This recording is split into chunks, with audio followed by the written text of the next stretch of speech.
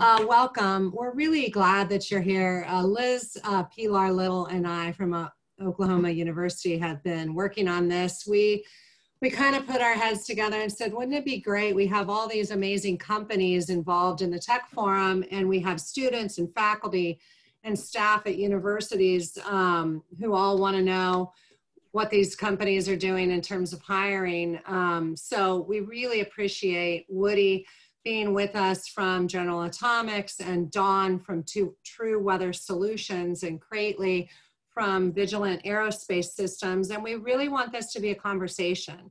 So I asked the companies uh, present to do a little bit of background, kind of what are they doing in terms of early career um, hiring? Do they have internships or co-ops? And what are they looking for? And then um, on the flip side, we want to know what um, all, all of these amazing students are up to. Uh, what are you guys doing, Gus and Bill and Tony and uh, Francesca and whoever else is here um, that I can't see, please turn your camera on and join the discussion. So I think that maybe we'll kick it off. Um, just, I'm gonna go in the order that uh, folks popped on and Woody joined us first. Uh, Woody, if you wanna introduce yourself and talk a little bit about General Atomics.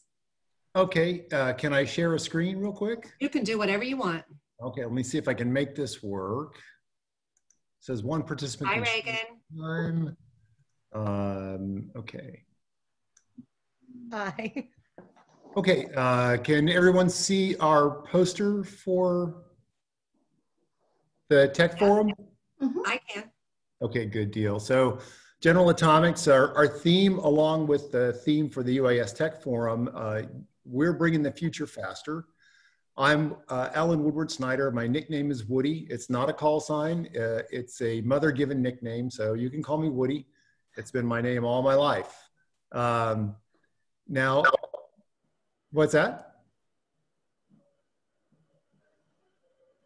So General Atomics, I've had the very good fortune to work for General Atomics since January 2007 when I retired uh, from the US Navy. I was a naval aviator and uh, it's been a place of perpetual learning. So I know that uh, Liz and Sallie set this up for students and the advantage of working with General Atomics or uh, in General Atomics is that it really is a place of perpetual learning. I have uh, been challenged and rewarded since I started with the company. I've uh, done Lynx multi-mode radar training, been a part of teams that did that, maintenance training for the Air Force and the Air National Guard on our systems, uh, international partner training on our systems, and uh, worked to uh, help integrate payloads and uh, generally demystify remotely piloted aircraft. Done a lot of maintenance training as well as uh, pilot and sensor operator training. It's just been really rewarding. Even not many people know this, but the US Navy, um, a combat experiment squadron at a Point Mugu flew our MQ-9 out of the Seychelles for a number of years. And uh, that's our website down in the lower left corner of this advertisement. It's www.ga-asi.com.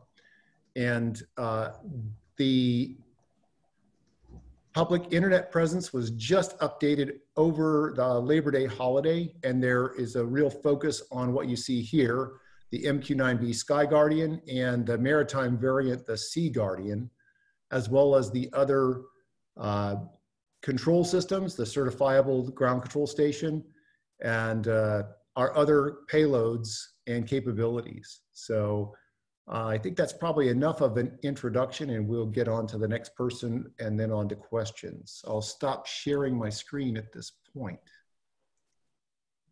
Thank you. Um, Cliff, welcome. Did you have anything you wanted to share? Hi, Sallie.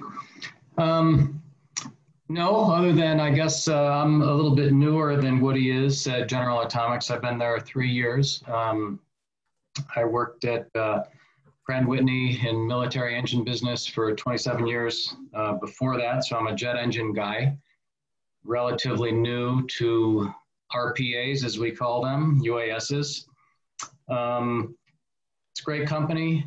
Uh, it's not a small company. It's a medium-sized, to large company, but privately owned, um, which enables the company really to invest uh, in product development much more significantly than um, public companies. And so it's really nice. Where earlier in uh, the panel that I was on, I referred to us as the uh, "Build It and They Will Come" company, and it's really kind of refreshing to be able to uh, invest that much in product development. and the formula has worked. Um, the company's grown almost 20% year over year for 20 plus years and, uh, and delivers incredible products that do really amazing work, both in the uh, military uh, space as well as in the uh, increasingly in the uh, civil space as well. So thanks, Sallie. I know I wasn't, I didn't think I was supposed to speak here, but appreciate the few seconds. Thank you. Oh, well, wait, this is just a discussion, so. Good, good, good. Um, Don, I think uh, you joined next. Hi, hi, hi, everyone. I'm Don Berchoff. I'm the uh, CEO and founder of TruWeather Solutions. We're a micro weather data and analytics company that's focused on translating all this complex weather data into simple insights for decision makers, uh, especially those that are in weather sensitive businesses. Probably most of you won't, don't know, but weather uh, causes the US economy $640 billion a year. And this is just due to uh, loss of production, uh, delays in moving cargo, logistics. This is not knocking buildings down. Uh, this is just productivity, and 40% of that's recoverable. So um, that's what TruWeather is working on. Um, mostly the reason we're not recovering that today is one is that uh, most folks are not using the right data at the right time for the right decisions. They're using general data, general weather information. They don't realize there's a lot better data and a lot better capabilities out there, especially that some stuff that's trapped in our universities, like the University of Oklahoma or Oklahoma State um, which you know those are two universities I've worked with a lot in the in the past uh, because of uh, the fact I was a science and technology director at the Weather Service for four years. So I actually know everything they do, how they do it, and it frustrates the hell out of me that we're not getting it out to operations faster because it's costing us, the economy, and businesses money. So the other reason that it's not that we're not we're dropping out on the floor is because end users don't know how to use the data really in workflows. It's done very haphazardly without any process. Um, there's a lot of decisions and workflows within a process that we could really nail it down a lot better, be more proactive in how we use weather and information. And um, we proved it in the Air Force. So I'm an Air Force vet. Um, I, uh, 24 years, I actually ran an Air Force base in Central Asia. I was the logistics, uh, it was the main staging base in and out of Afghanistan. I had 1,500 people and yes, they let a meteorologist run an Air Force base. And that's, that's what I am. I'm a meteorologist. Imagine that. It's amazing what the Air Force, you know, how crazy they are, right? Uh, but I learned so much in that year. And, um, you know, running the base, the weather was tough at Manas. It was in Central Asia and Kyrgyzstan. Um, and because I was a weather guy and because we were anticipating the onset of winter, and because most people don't take that seriously on a base unless the weather guy runs the base, we had all the equipment ready to go in the first storm, which was a surprise storm, but not for me. So we had we had all the we had a, a an event where we had 12 inches of snow in five out five hours, and we got all the KC 135s downrange out of the airfield on time, and that was because we were prepared. And that was important because those KC 135s, they were going to refuel A-10s that are flying over the battle space to protect people on the ground and bring air cover. So if those KC-10s aren't in the air, those A-10s have to land. Those A-10s have to land. Those people on the ground are vulnerable. So I just together here have told you how important weather is and make sure you, all you young people don't forget that. And there's a lot you could do with it. There's a lot you could do with it, but you got to be willing to do it. And uh, that's what TruWeather is about. We're going to make it simple, easy, and we're going to help the UAS drone industry overcome some of the, the uncertainty that weather causes that causes them not to fly as often as they can when they can fly or causes them to take more risk when they don't need to uh, and to get more uh, airframe utilization increase ROI and, and those things. So that's what we do. And uh, thank you for asking me to come out tonight. I'm about ready to have my drink. So it is happy hour. Thanks, John. Sure. Kraettli. Do you want to talk a little bit about Vigilant and then also maybe some of the positions that um, your company is starting to look for? Sure. Yeah. Thank you, Sallie and Liz, uh, for inviting us. Um, I'll give you a real quick introduction, and I also have a slide I can share um, when you want me to. I'll put it up, and then we can decide if you want to share it. But um, so very happy to introduce the company. We're, we're kind of on the opposite end of the spectrum. So we are an early stage tech startup.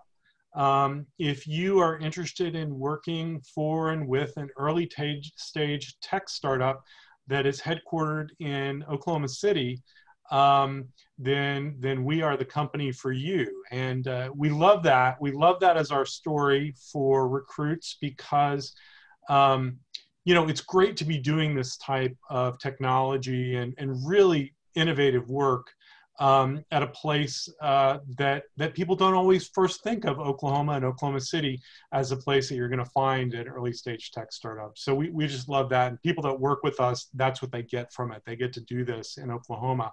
Um, I will say we have people working all across the U.S. Actually, our our workforce is very distributed, especially right now.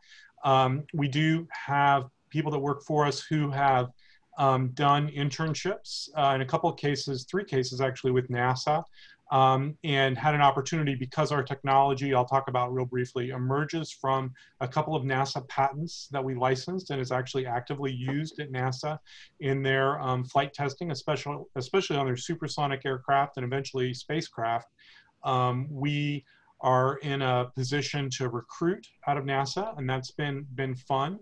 Um, and so we do have some some graduate students uh, that that have worked and do work with us. Um, I will tell you right now, we have um, in this, this um, meeting, there are three job descriptions, and I also posted in the chat a link to our job page. Um, we are, those jobs, I, I, will warn you, are mostly full and they're very specific, um, but we um, will likely be recruiting again exactly around these types of positions. Um, and so we encourage you to take a look at those. Um, our company develops safety software for unmanned aircraft. It's also used in special cases with manned aircraft. It's used by NASA. Um, and it is based on a couple of patents. It was developed at NASA Armstrong. Um, we get to we get to play with drones a lot. We get to play with actually uh, portable radars. So we own our own radar that we carry around with us in the car, and then we can pull it out and put it on a tripod and track all the aircraft and sometimes the birds and cows as we find in Oklahoma. Um, it's kind of whatever we see that day. We're actually writing filters so you don't see all the birds and cows. Um, there's all kinds of fun stuff. We, uh, we work a lot with um, standards and technologies that are coming out of the FAA in terms of, of new rules, so we have to know that side of things. Um, but we do get to work with a lot of really interesting cutting edge technologies. Uh, you know, the radars really are cool. We're not a radar company, we're a software company, but we get to integrate with all this hardware from the drone to the radar to the radio receivers. Um, and so so that that's really what we get to do. And, and that's the, the part of our job that is the most fun. Um, Sallie do you i have a slide that just goes over like some of the skills and things that we're seeing emerge. Yeah it'd be, it'd be easiest i think if you just shared your screen. You should have that capability. Okay i'll share this real quick and we can just uh, i'll just run through this real quick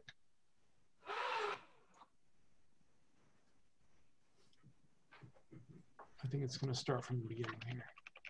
These are my slides from my prior presentation earlier. Here we go. So early career opportunities. So this is what we're seeing. And I just put this together. Um, when we think of, of people in an early career stage entering the industry, you know, we, the attraction that we see is that it is very much a growing industry. It's growing quickly. Um, in particular states, it's, it's growing rapidly. Oklahoma, obviously, and Kansas are two of those states. Um, we also do a lot of work in North Dakota. Um, and uh, so there are places where this industry is growing. It's really a hungry industry. It's looking for talent. It's looking for people who have an interest. Um, and most of the technology right now is based on recent innovations. Um, and what that means is that, particularly when we talk to computer scientists and aerospace engineers and others, a lot of the things that are going on with unmanned aircraft right now are around the, the latest technologies that you will have been exposed to or recently learned. Um, and so that, that's been great for us. Um, so the things that we look for in particular and in general that we see, you know, unmanned aircraft are flying robots. They are the Internet of Things in the air. And, and so that really pulls a lot of interesting things together. So obviously software development, hardware development, aerospace engineering, but it's inherently an IoT problem. These devices are increasingly connected. So we're focused in the commercial market with a little bit of exposure to the military market, but increasingly everything has to be connected to function. It's got to be directed, it's got to be logistically sent where it's got to go, it's got to be flying there safely, and so you really have to be connected to do all that. Um, human um, machine interface is really important for a lot of these things. RF technologies are important, sensing technologies are incredibly important. Um, machine learning and AI is something that the industry is needing a lot more of and then cybersecurity, just massive need and importance for that right now. As all these devices that are flying around overhead are all going to be connected, that cybersecurity component becomes incredibly important. So this is what we're seeing in the industry. I just have this one slide and I just wanted to share that. This is uh, us playing with a few of our toys um, out actually at Oklahoma State University uh, with some of their drones, which we were monitoring and tracking and doing our detect and avoid work um, on those drones. Thanks, Kraettli. if you guys are in the meeting, um, I know we're on the Zoom right in uh, on a Zoom meeting right now, but um, in the agenda, you'll see next to this particular meeting where it says chat, polls, people, files. We have uploaded um, all kinds of files from Vigilant and from uh, General Atomics. And Don, if you have anything you want us to upload, we're happy to do that as well. So um, I, am now I'm going backwards. Don, um, do you want to talk about some of the hiring you've been doing, internships, um, specifically, you know, what what's happening with TruWeather? Sure. Well, we uh, we have a very uh, uh, robust intern program. My center, we you know, our main center is up in Syracuse, so but it doesn't mean people can't work virtually. Um, we have we have used the co-op program at Syracuse University very effectively.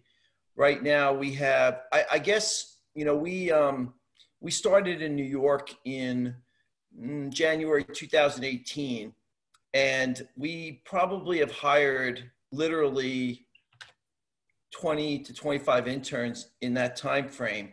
And right right now, we have five um, paid interns and four unpaid. And people are coming to us to work for free. I, I mean i don't like doing that but you know i just can't afford you know i'm a small business right? And um, i just can't afford to pay everybody but people begging me literally saying we really want to get that expertise with your company. What you're doing you know, the analytics we're building the data fusion the data science the techniques we're using to build out our stack um, they want that experience. So um, you know, we, we give them an opportunity to work with us. And um, it's been amazing what interns can do for you if you if you give them a, a plan, they see how they fit in the big picture, and you you know you you really work with them. It's well worth the effort. Um, we've gotten some of our interns have been with us since the beginning, and they're graduating.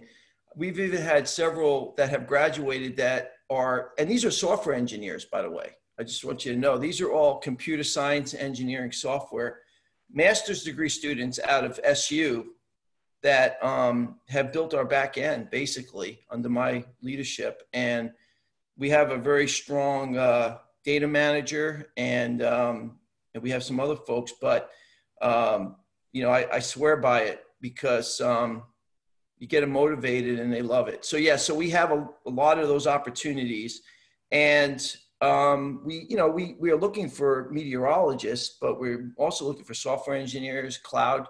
You know, cloud is big now. We you know we we haven't yet started hiring any um, data scientists outside of weather, but I know that day is coming. Machine learning. Um, and I think, you know, what I always tell the, the weather group and I don't know, I have to ask the question is anybody a weather meteorology major in this group? Anyone? So I know if there is one. Francesca ah. is, yeah. Francesca, how you doing? Good. How are you? I'm good. So, um, so now I feel like at least I'm talking to somebody that understands me. Um, we, you know, we're, uh, we, you know, there's a lot of, um, you know, a lot of software work that we have to do in order to make things work, just like, uh, you know, Vigilant would, because, you know, we're all manipulating data, right? It, and now weather data is the first big data that's ever, I mean, it really was the original big data. In fact, we were, you know, when you people started calling big data something, I was laughing, you know, because we, we did big data before big data was a, a term. But um, so weather data is very complex and it is very challenging. That's why I think people kind of like like to work with us because they really learn how to do use a data set that's very a lot of variety, uh, you know, diversity, data types, sensor types. None of the data comes off these systems in the same formats. None of it comes out at the same time. None of it you know, it, it's it has to be all fused. It has to be all weighted. It has to be all you know, uh, uh, nudged. Uh, you know, and weather's it is all smoke and mirrors. You guys, I, a lot of you I know believe that, and uh, it really is. There's a lot of smoke and mirrors in weather. No, but seriously, it's um, yeah, we, we're we're doing a lot and and encourage people that are interested in a challenge to to consider the field. Thank you. I have to ask Francesca one question, right? Because she's here. And so, what year are you in? I am a second year master's student. Ah, good for you. So, you're gonna um get your PhD, or are you gonna graduate? I am working on my master's and then figuring it out. so, what do you? What's your thesis? So, as of it's been kind of a evolution. I have worked with uh, convective initiation data, and it's kind of transitioned into using low level buoyancy as a metric for um, atmospheric boundary layer transitions, before convective um, cases, stable cases. I have one low level jet case, so kind of teasing things out at the moment. Um, I I don't know why you just, why you care about severe weather. I mean, I don't get it it, it's fun to look at. no, I, am teasing I because I, I, thought everybody would appreciate that in Oklahoma. Yeah, uh, it's but, Oklahoma. yeah, but um, who's your um, who's your uh, your advisor? Uh, Phillip Chilson. Ah, yeah. So yeah, so you know, um, you know, meteorology majors today. They one of the things they they've got to understand is that the future is in is in understanding all the big data techniques now that are being leveraged for AI and machine learning. It's it's totally different. Like you could be a scientist, but then you also got to become a uh, you know well aware of all those tools, and then you've also got to uh, really understand the operators, right? Because everything has to be impacts based. You know, we have operators in here from General Atomics and and the Vigilant, and um, you know, they don't want to really hear us tell them there's a 30% chance that you might get a shower, right? You want to, they want to know, is it going to rain or not, right? Has anybody uh, ever had that problem uh, out there? So, um, but no, yeah. And I, and, and by the way, the joke that you guys are only right 50% of the time you get paid, I, I, I know that one already. So, but um, you got to have thick skin, right? So anyway, nice meeting you, Francesca. Thanks, Francesca. Woody, you want to go over a little bit in more specifics, kind of your internship, co-op, uh, uh, early hiring kinds of opportunities that are happening?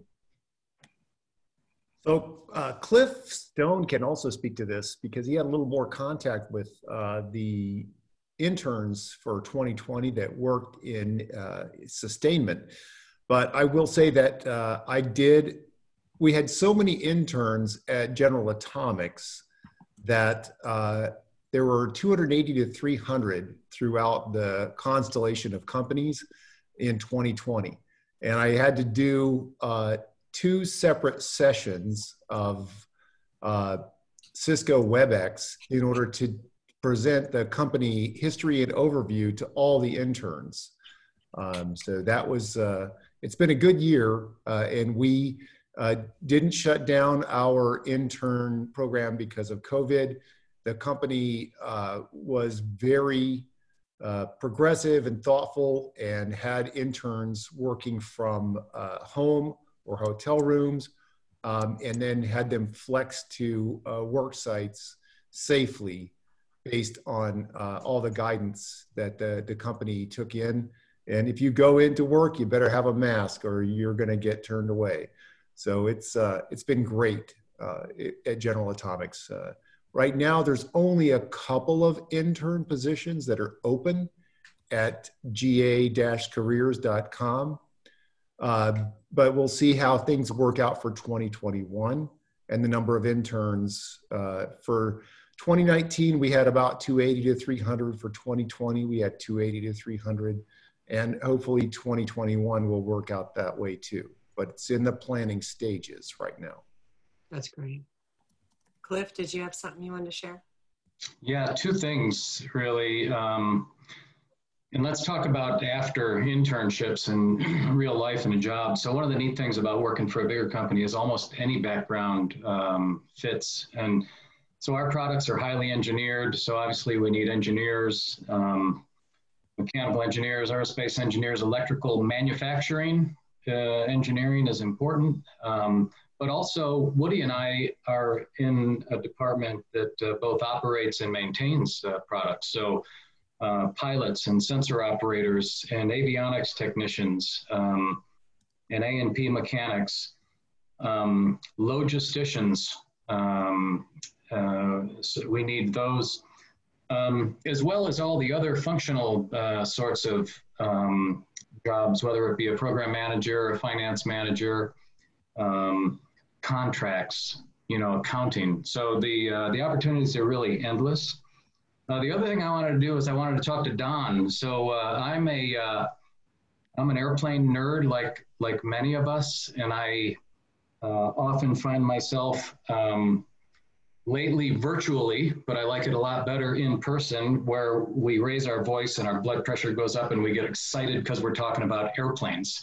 And it's so cool, Don, to uh, hear you have that same kind of passion uh, for a completely different career field. And so I'm enjoying listening to you be passionate about meteorology and weather and big data, which I thought was a new thing. I didn't know it was an old thing. Well, well, Cliff, let me tell you, first off, we should be passionate together, right? Because, you know, weather and piloting go together, right? And, and there's a lot of work, there's really a lot of good things we could be doing together and, and really helping. Um, it's just amazing how much data is out there that we falls on the floor today, right? And, and we need to be scarfing that stuff up and turning it back around to you guys, right? So you, you know, you don't have those surprises. Um, but you know, I wanted to be a weather person when I was seven years old. That's how. I mean, I don't know if Francesca has a story like this or not, but generally, meteorologists we're crazy. I mean, like, eighty percent of us know at seven or eight years old that's what we're going to do. And uh, I don't know. Part of that I think is because of this this wonder and you know the fact that you can't solve the problem i think we're all kind of cra- you know we're all a little nuts right because you can't solve the problem so why would you want to do something you can't solve right? But um, i appreciate you recognizing that. And again i would love to you know work with anybody who wants to really learn how to use this stuff you know? It's it is exciting and i'm glad you're ex- excited about your piloting. I I had F had F sixteen pilots. I was trapped with them at Kunsan Air Base in South Korea. We were it was a remote tour, and um, when they used to come back after they had bad weather, uh, I couldn't hide anywhere. So we'll leave it at that. it's all good. Good to meet you, Don. Nice to meet you too. well, thanks. I'm going to turn it over to Liz. All right, so I guess I'm going to flip the script a little bit because I do see some student faces and my there might be some student faces on the other sides of some of these cards. You can't join us on video right now too. But I think I want to ask you guys, as well as people who might be working with students or trying to facilitate internships for their students. This can be open to any of you. But what do you think are some classes that you're taking or wish to be taking that could facilitate you entering jobs in this workforce or things that you might like to get experience in that could get you better prepared for internships or jobs in these or like shadowing opportunities or things like that that companies could offer you to maybe better test to see if you're interested in a career in doing weather data if you're not maybe necessarily inherently an atmospheric scientist. Because while I am an atmospheric chemist, I had no idea what I was getting into when I came to Oklahoma. So I'm even outside of my own field, for instance. But you have to get an experience with it to know that maybe this is for me. You have to be able to try it on, right? So I kind of want to open it up to the students to even ask their own questions a little bit about what classes might be good to help develop some of these skills if you're unsure. So I want let the students have a little time to ask just freewheeling of their own. And because you have three very different companies here. You have one more in manufacturing and aerospace, you have one more in weather data and applications, and you have one more in UTM and software. So you have three very different applications of unmanned systems. So I'm going to encourage the students to go nuts. if there are any. You're going to have to be shy. well, I could take it a little bit sideways because I would imagine that most of the students are here at least the ones that I'm seeing are graduate students. Uh, and so I would assume we're more focused on our research than classes per se.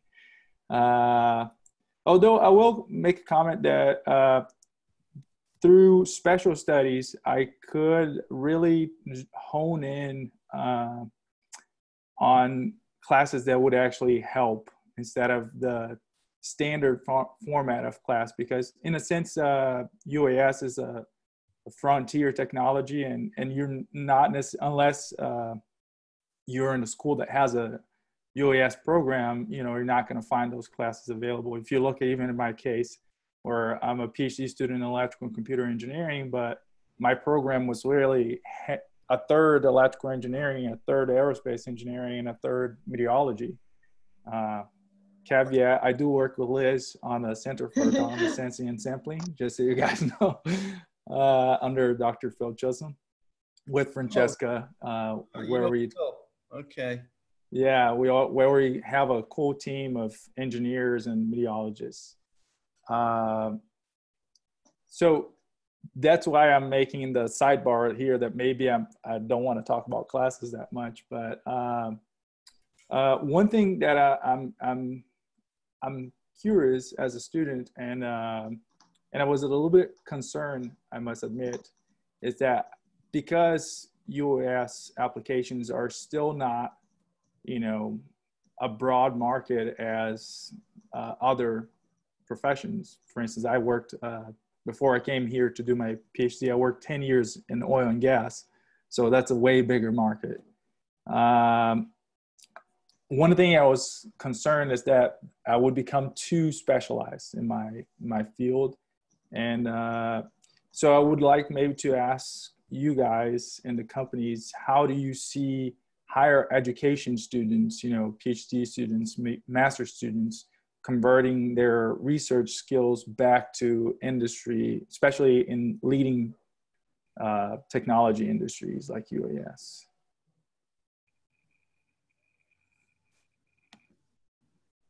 more, I'm to open it up. Yeah, whoever wants to answer yeah. can feel free. Well, you know, I'll take a shot at that. Um, obviously, if you're if you're piloting and and and things like that, you know, um, that's not going to be something that's easily transferable to other areas. But if you're involved in the software, in the systems, in the sensor components of it, uh, you know, then there's a whole world of other cap, you know, jobs out there that use those types of capabilities, you know, and um, again, so much of it's fungible. I know that Vigilant could talk about this probably because you, you know, you, you're doing it, you know, you're doing the software side and there's things you're doing that I'm doing. I'm just doing. I'm just focusing on different problems.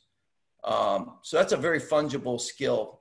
Anything with sensors, anything with sensor fusion, cleaning data, data analytics, you know, running applications from those. Uh, you know, those are all very fungible skills. And, um, and so I think that from that perspective, if you're a student and you and you like piloting or you like UAS, but you're able to focus on those types of skill sets to get into the industry and something doesn't work out, you definitely have options. Hey, Gus, um, I'll add on to that. Gus also has a video. I don't,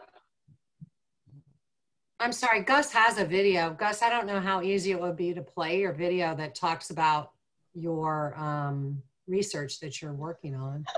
Yeah. I just saw Bill because thumbs up in big time at the bottom of the corner down there. well, I can link to the Pathable page where it is here on the chat, but given that it's within the Pathable uh, infrastructure, I don't have much control over it, but here's the link on the chat.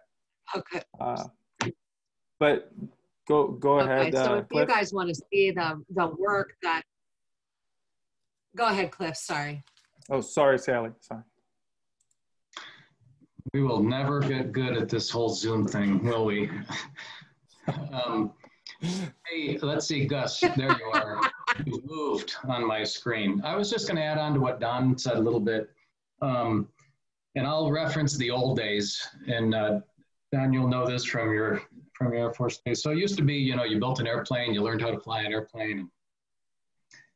Other people were flying airplanes, they didn't talk to each other. And uh, anymore, I mean, it is systems of systems. I talked a little bit earlier about swarming. And if you take a look at any uh, concept of operations, and I'm in defense and I always have been, so that's kind of my swim lane. Um, it's about all kinds of different systems working together to complete a mission.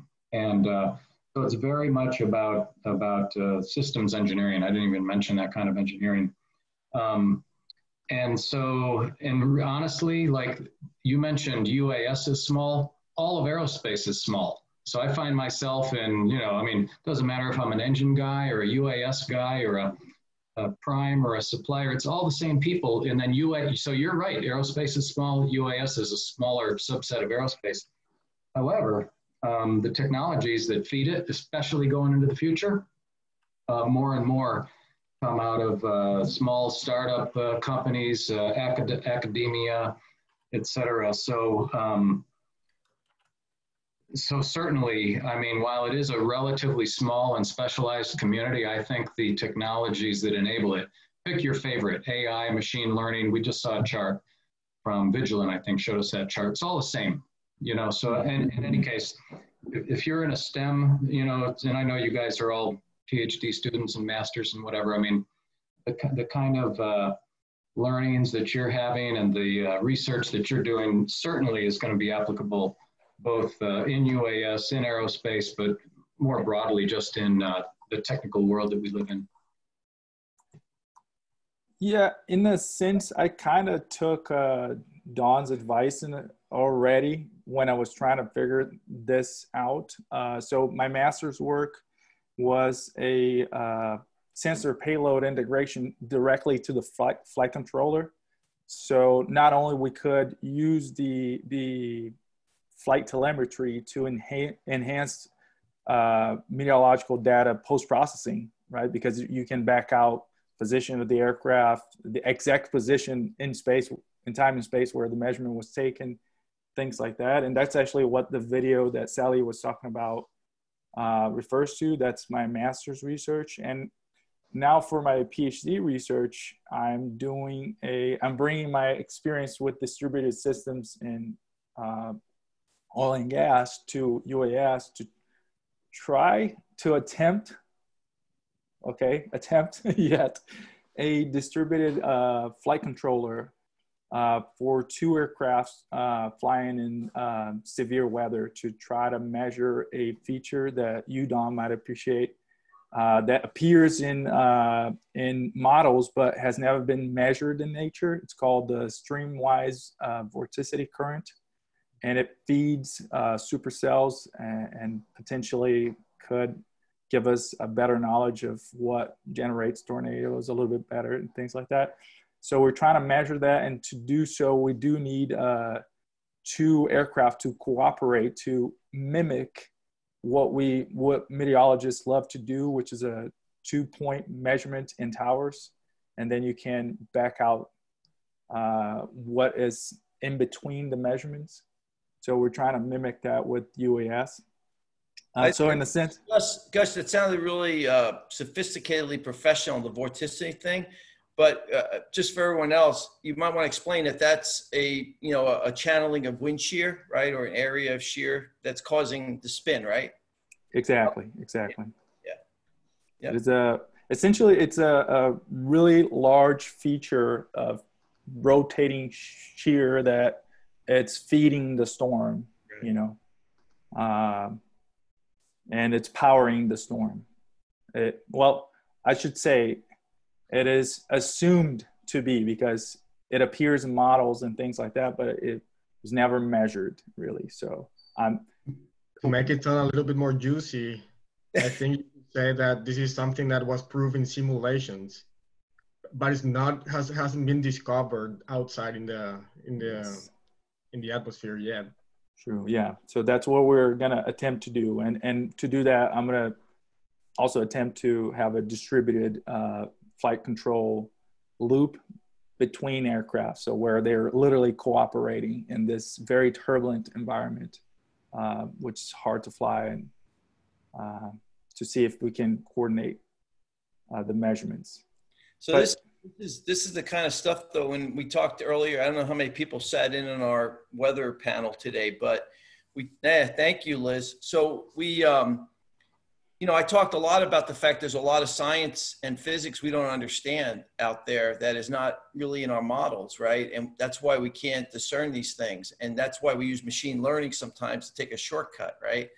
Uh, Gus is trying to do the hard work. He's trying to figure out how do we know where this is happening and how it's happening so we can actually put in a physical model rather than us say hey we had a tornado and this must have happened in this case. And so next time we have this situation we'll forecast a tornado right? But that doesn't mean that's the way it works right gus?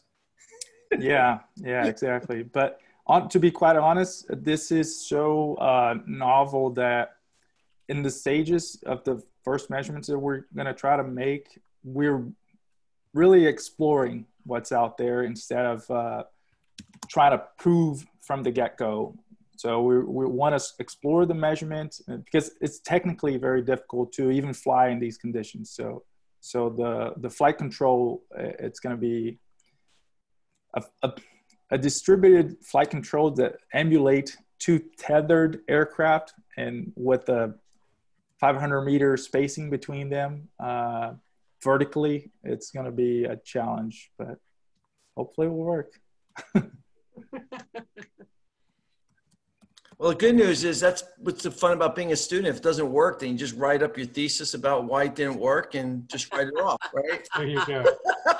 so, but, but the, so the original question is okay. so I'm going to do two questions in one then. So, and then I stop talking so I don't hog the session. Uh, but the question is, okay, it didn't work. I learned a bunch, and I have all these tools now on my belt. Mm-hmm. Uh, and now it's time to transition to industry. So my first question would be, what do you guys recommend for this transition?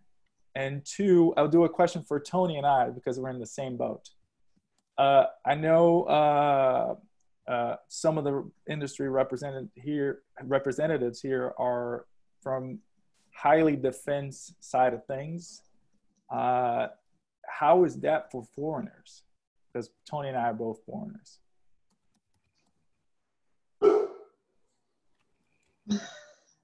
Yeah, that's a problem. right? Um, not impossible, um, but obviously um, a lot of programs are US only. Um, so, yeah, I know a kind of joking kind of answer, but it actually is a little bit of a problem. I really don't really know how to quantify it. Um, there certainly are defense programs um, that are not ITAR, that are not classified. Um, but you're but you're right. Um, many of them are U.S. you know citizen uh, only. I don't have a number. I don't know. Woody, you've been in this space, or anybody else? I don't know. I mean, it's a it's tough to quantify for me sure it's quantifiable. I can't quantify it. But this is this is Woody. Um, I would say that uh, within General Atomics, there are several different companies. So if you uh, don't be discouraged, get on the GA uh, Dash Careers website and just look around and do a keyword search. It seems simplistic, but if you look at GA Energy, it is um, since 1955, that's where all of the other General Atomics companies have actually come from. They are the smallest company because they grow this company and then they set it free inside of the constellation of General Atomics companies. But GA Energy, especially the fusion energy experimentation, is uh, wide open to all nationalities um, and all that information. And uh, a lot of what happens at the Supercomputing Center here in San Diego is open to all nationalities. So uh, that's a great place to look for an internship. In fact, I just referred um, a manufacturing uh, internship uh, to uh, the fusion energy uh, part of the company. I just sent that to uh, Kansas State Engineering last month, and I, I, don't think they filled it, but somebody's taken that that internship. but that is is open to um, international persons. So uh, get out there and, and, and take a look. Uh, it's a pretty interesting place. We're, we're lucky at the Center for Autonomous Sensing and Sampling to have two of the very best in the world join us from South America. So. Bill, was that recent? Was that under recent regulations or was that Oh, I'm talking about Gus and Tony. Oh, okay. he is joking. Yeah. he, yeah, he's just pulling the students' legs. I don't, I don't um, have any doubt. I don't have any doubt whatsoever. Sallie, can I, can I throw in a couple of two cents about some of those questions? Yeah. So I, one thing I, I would say to you is that the UAS industry as a whole is extremely international. It is being advanced all across the world. The um, committees that I serve on. So I serve on some ASTM committees. We are specifically writing international technical standards to help synchronize technologies and airspace protocols and safety systems worldwide because aircraft don't really recognize borders. You have to be safe whether you're flying on this side of the border or the other side of the border and you use the same systems and preferably the same equipment and the same standards and the same way to talk to air traffic control or talk to the computer that's performing air traffic control for everybody, which is what's emerging as the way it all works. So I would be, I would strongly encourage you to think of the industry that way to remember that a lot of the standards that are emerging, in another session, I was just talking about the Global UTM Association that is helping to harmonize. So I've just been to sessions in the last couple of weeks mm. in which all of these standard setting committees, because it's in aviation, they have to harmonize everywhere all the time. What that means is that the technologies that are developed and the skills that are developed to implement those technologies are internationally relevant, particularly if you focus on what's emerging in the industry, which are some really strong international standards, because aviation has always been an international business. Um, we often compare it to the cell phone business. You don't have to go buy a tower or go do a Google search for a tower when you turn your cell phone on and try and make a call to somebody. You don't really worry very much about whether that other person's cell phone is on a different cellular network than yours is. And the reason all of that works, and you can call somebody in Buenos Aires right now and have high confidence that you will reach them is because there are international standards and there's engineering all across all these borders to make it all work. None of it works without that. And so I, I would just encourage you, particularly in the UAS industry, to understand that there are actually lots of countries that are well ahead of the US because their regulations work differently. They have less complex airspace. Um, they have far, far less traffic, and so they can be far more experimental with their unmanned aircraft. And we see this all the time in the industry. That, that I was talking earlier about the U-Space initiative in Switzerland. If you look at what's going on in the UK, if you look at what's going on um, in some parts of Asia, um, if you look at especially what's going on across Africa, um, with with Zipline and uh, some of the Matternet, some of the other co uh, companies that are doing uh, clinical deliveries over long distances with unmanned aircraft um, in several African countries. They're just doing amazing things, and they're really working hard to bring all that technology here to benefit us in the U.S. as well. But they've pioneered that stuff all over the world. Um, so anyway, that that's I, I, just work in a very international industry. I feel um, because there is a lot of international influence in terms of how you put standards and systems together. Because your aircraft don't really recognize borders, you have to fly over those borders all day long. Um, and the other thing I would say is think of UAS as sort of the leading edge of the entire robotics industry. Really, it's about robotics, and we happen to be in flying robotics um, but it's really a flying Internet of Things. It's a flying robotics industry. We're at the cutting edge of autonomy. We're at the cutting edge of battery technologies, fuel cells. Um, you know, every form of cutting edge technology, people want to implement it in UAS, and then immediately they want to implement it in robotics. So we run across people who have a lot of questions about autonomous cars there's overlap in the sensors, particularly when you get into LiDAR technologies. So innovations in autonomous cars are pushing the UAS industry and some of the sensors we use. I have no doubt that some of the techniques and safety standards and other things that we develop will push their ways their way into other autonomous vehicle markets.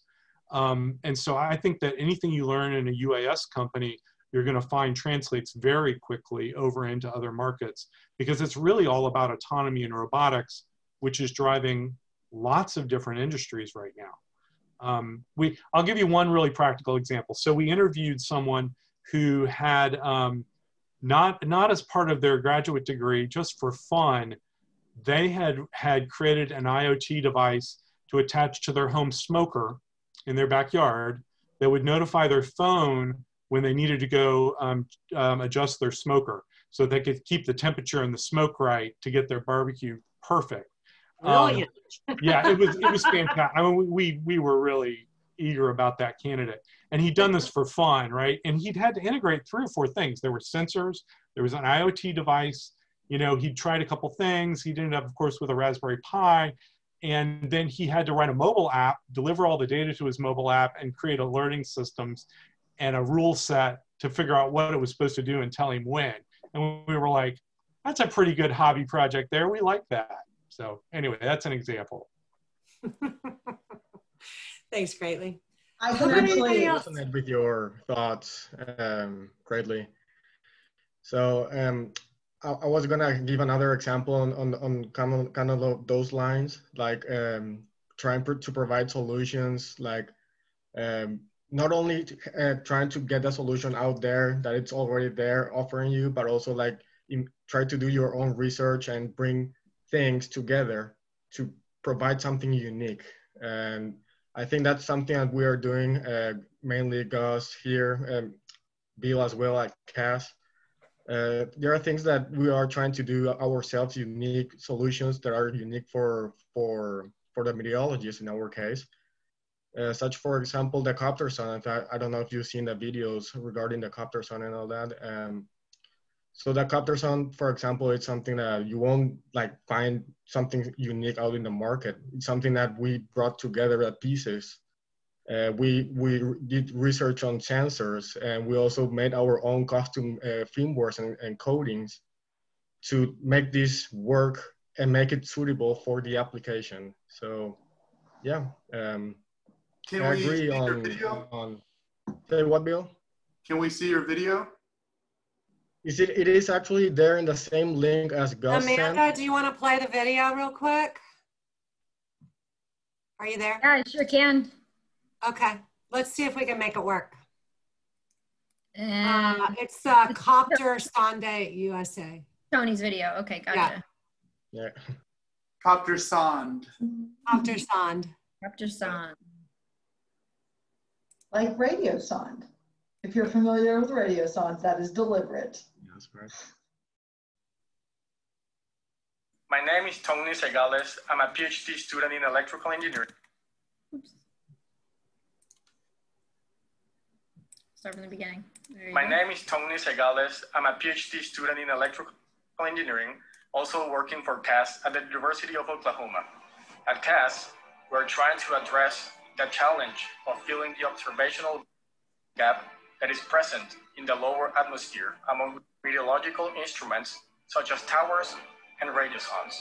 My main project is the design and development of the CopterSonde, an ambitious and unique drone for weather sampling.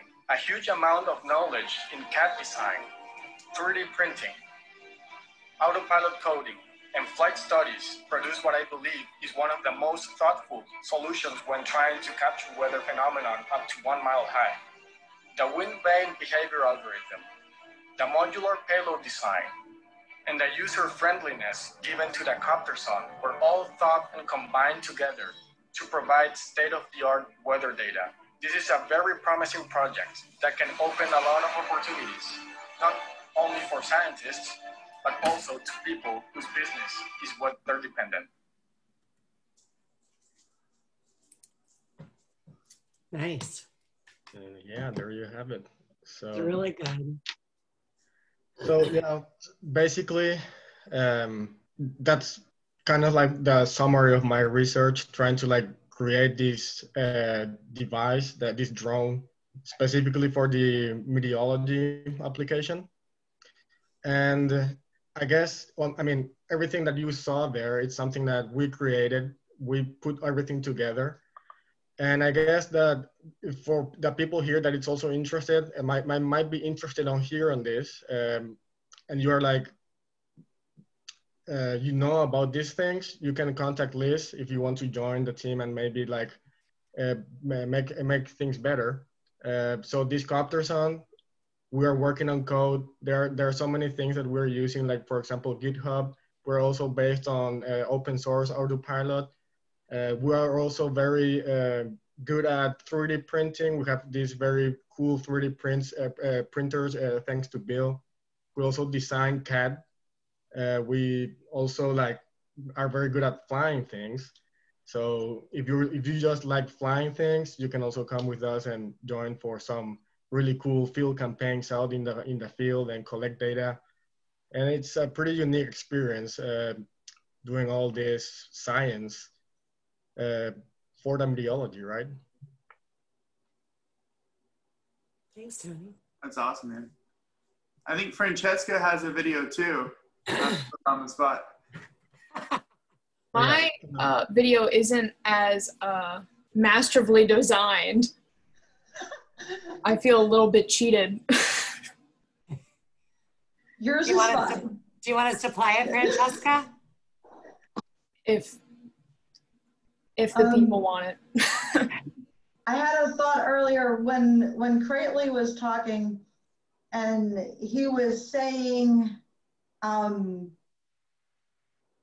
I forget what he.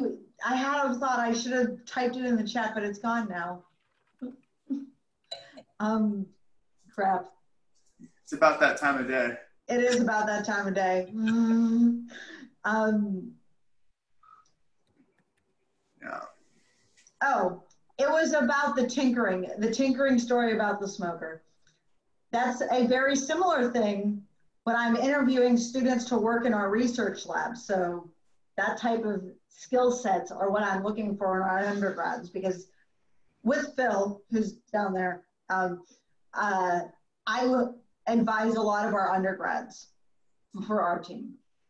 So these are the types of skills I am looking for in undergrads or even just an interest in tinkering, right?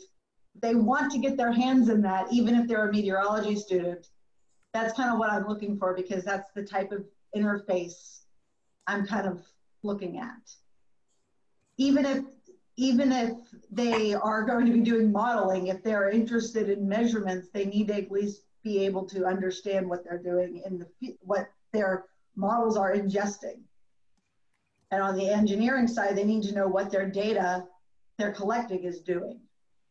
So um, it has a, it's a very similar thing in academia. I'm looking for that in students all the time. So that was it.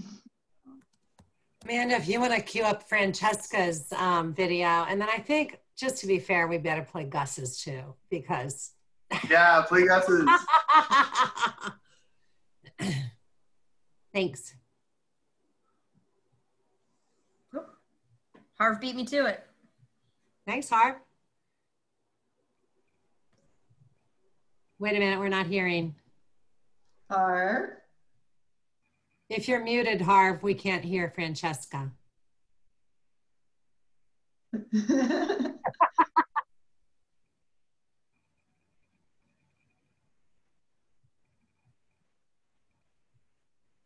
Francesca, where'd you come from? Where'd you grow up? I was born and raised in South Florida and got my um, master or my bachelor's degree at uh, Florida State University. FSU. Mm-hmm. Go Noles. That's a that's a good that's a good school. That's a good school. So what got your interest in weather and meteorology? Was it done hurricanes or something like that off coming up? I want to say it was hurricanes, but I don't know. I just, I always remember standing out when it was about to start raining and trying to figure out when it was going to start raining, and my mom yelling at me that it was lightning and I needed to come inside. So, and of course, it, you didn't come inside, but yeah. it it's true. Meteorologist, it's it's deep. It runs back to your childhood. I used to run outside in my bare feet, my underwear, to measure the snow on Long Island during a big snowstorm because I was so excited it was snowing. I can't agree on that one, but.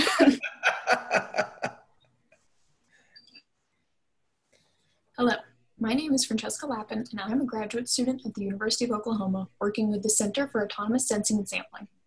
How the surface interacts with the air directly above it is dynamic and widely represented. This is called the atmospheric boundary layer. Recent developments in UAS designed to observe the atmosphere can fill this data gap. Given high resolution data measurements from the boundary layer, we gain insights into atmospheric processes. Currently, I am investigating how buoyancy functions in time and space within the boundary layer. Positively buoyant parcels drive convective mixing, which destabilizes the atmosphere and can lead to severe weather. Conversely, negatively buoyant parcels and a stable boundary layer can be conducive for low-level jets. Buoyancy may also be able to predict flying conditions for UAS and small planes. There are numerous other potentials for uh, buoyancy, and this technique is just one facet of weather sensing UAS. Thank you.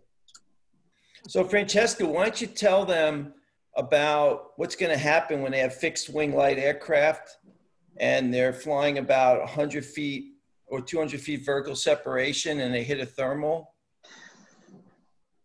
So that'll be messy. Um, but yeah, simple thermals are so sensitive even to just what is your ground layer. So really every strand that we pull at in meteorology opens up a whole new nest of things that we need to further understand. So I'm interested in seeing how buoyancy uh, predates certain events like severe weather events or low level jets, things that can implicate um, aviation or just your average day person trying to go outside for the day. So, you know, um, Zipline was having a lot of fun in Rwanda with um, downdrafts that came out of uh, showers and then they would roll along the hills and cause these rotors.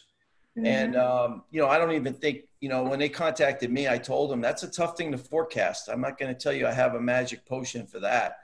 But these are the things that in, in, in the UAS industry that are going to be impactful when people finally have to fly, schedule flights, they occur regularly. These are invisible threats. These are invisible threats that you can't see, you don't know are out there. We don't even always know they're out there.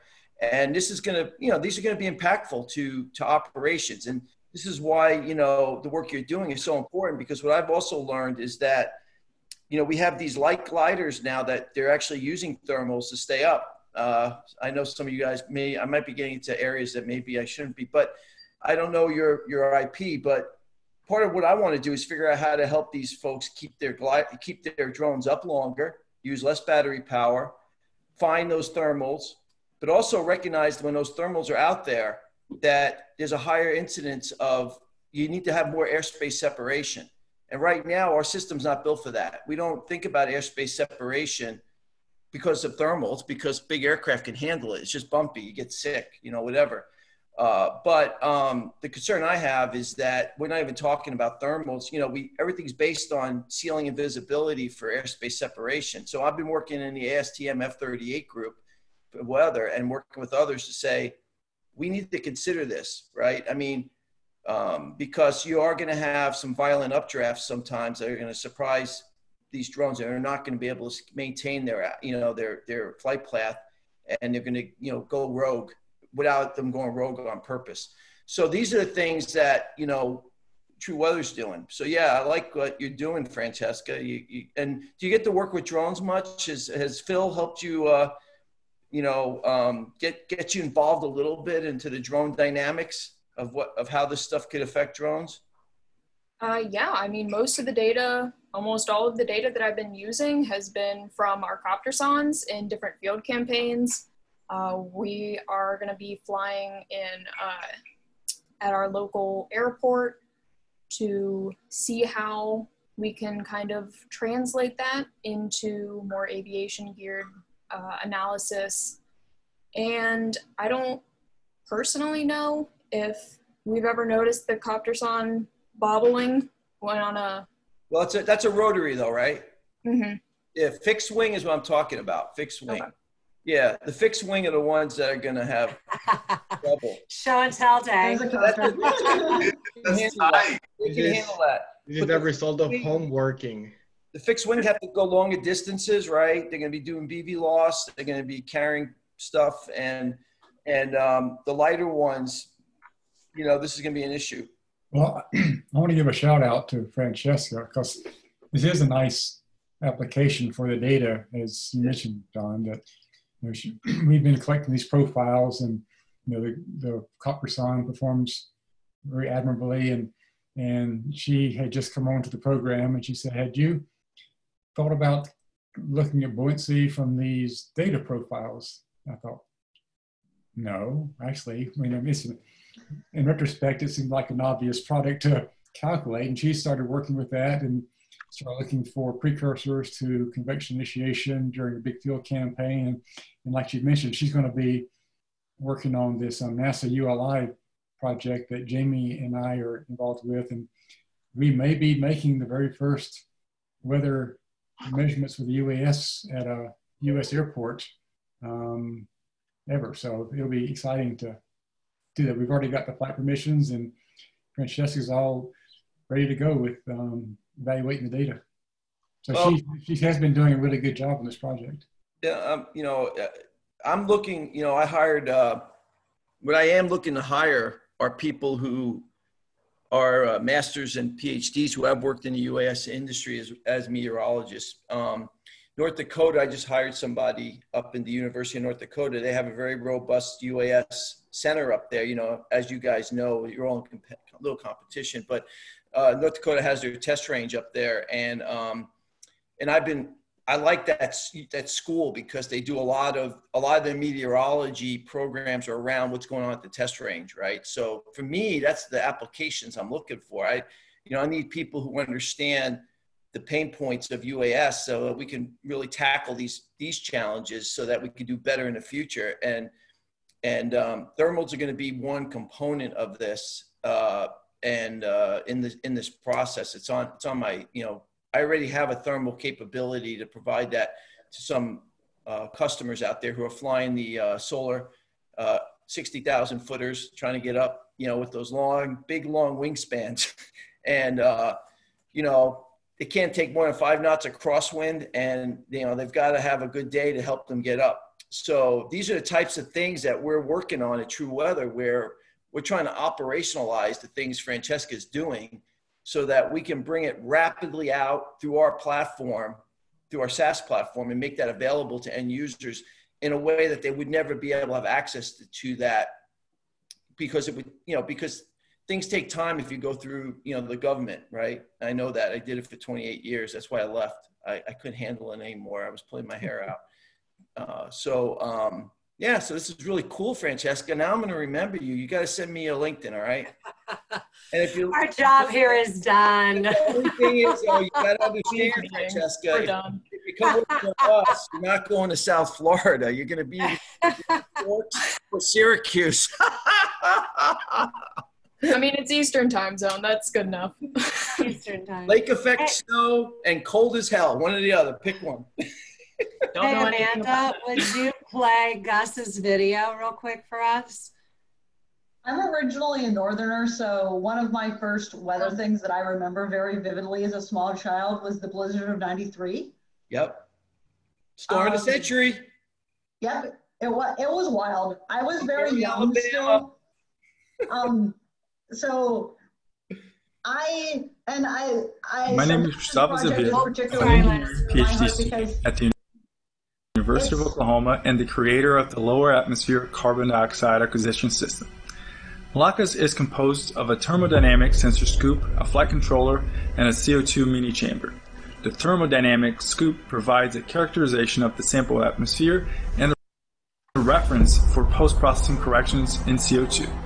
The CO2 mini chamber provides a controlled environment for two K30FR sensors, and the autopilot integration was developed as a native autopilot library for Pixhawk.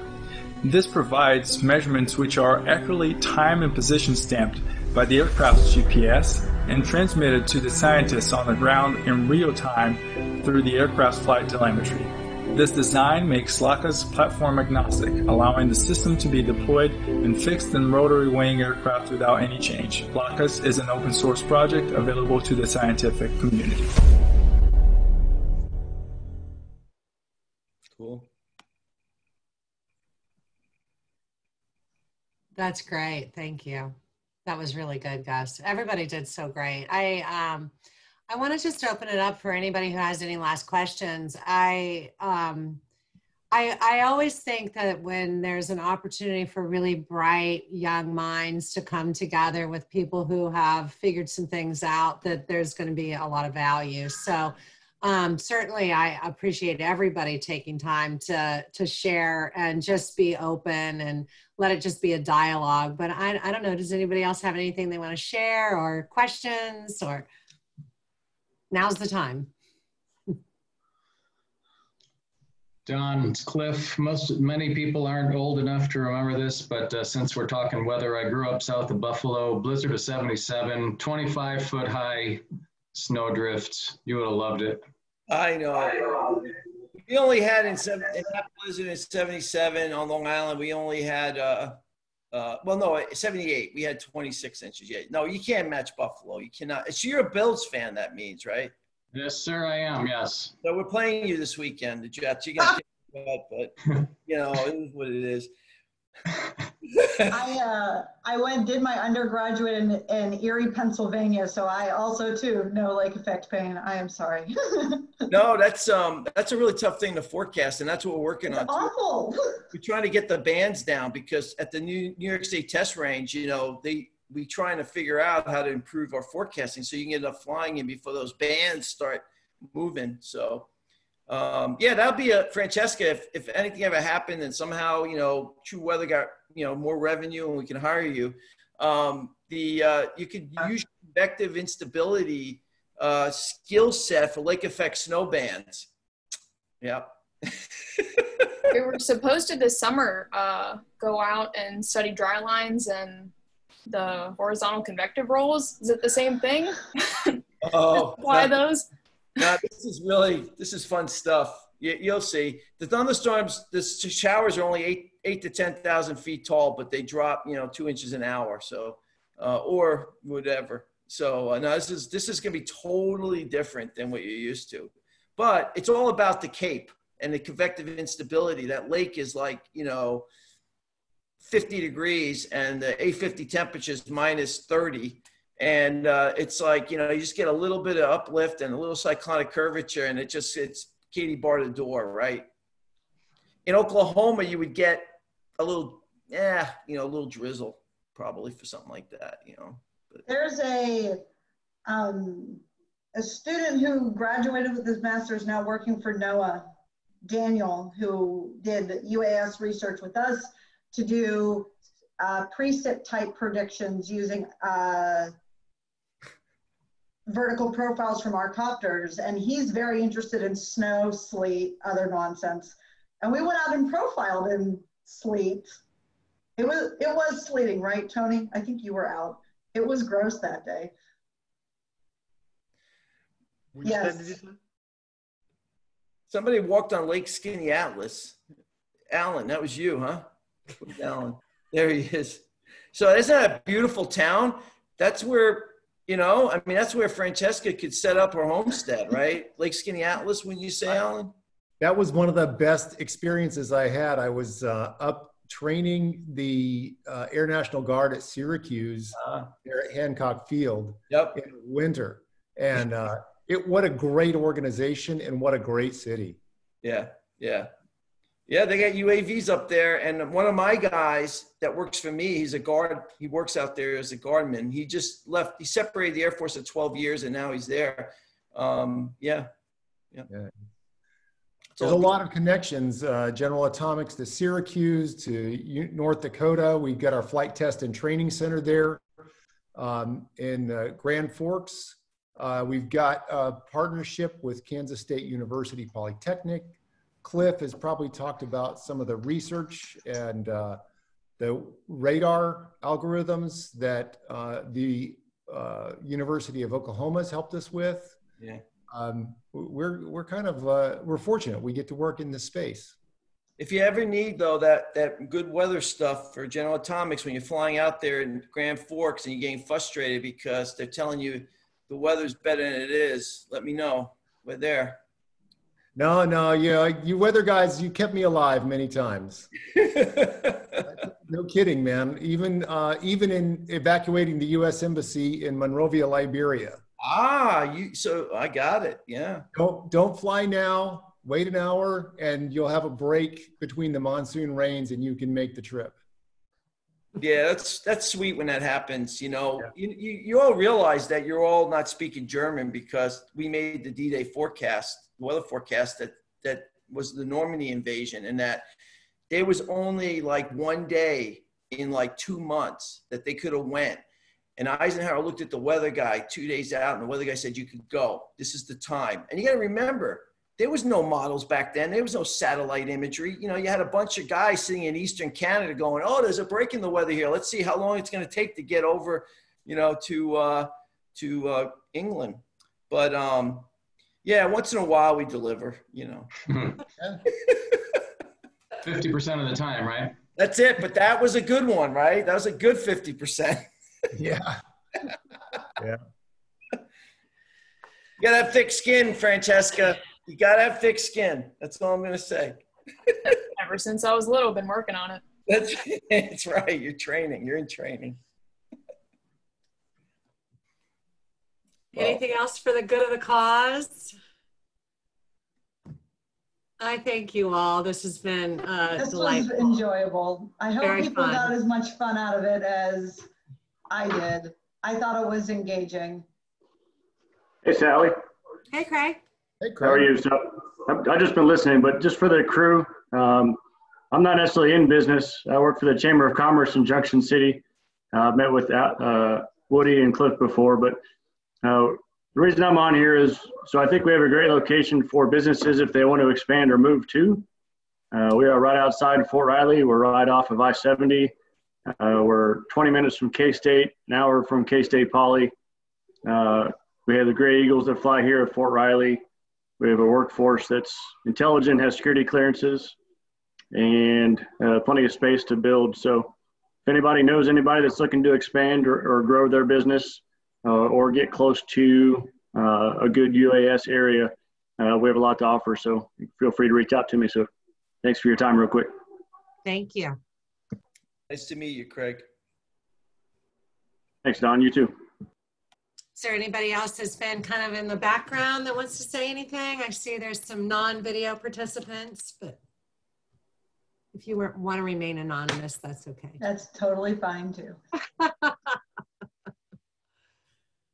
it's the end of the day. It's been a long day. So Thank you all a lot. I hope, you know, as you start thinking about not only the kind of research you want to do, but you heard from three really different companies, I'm sure, in kind of maybe in terms of culture and context and what the work might feel like and what the energy um, might feel like. You know, I've been in startups, I've been in larger organizations. I worked for the federal government for like this long, and I decided that nobody was going to survive me working for the federal government, you know, and so that it, I mean, it's equally important to find that right fit, that culture fit, that context fit, and the people who get you.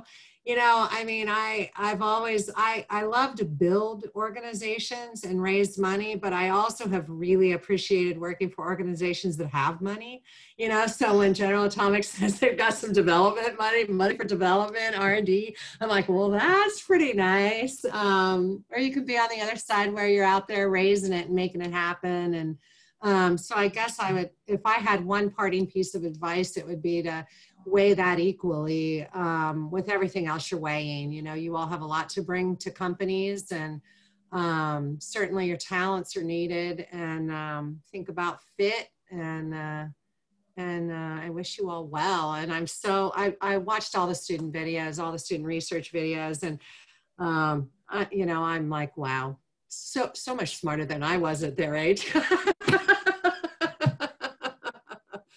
Congratulations, you all, for uh, being in a really interesting industry. And I wish you all a good night. And we'll see you tomorrow at the Tech Forum. Thanks, Sallie. Thank you. job. Thank you. See you tomorrow. Everyone. Good night, everyone. Right.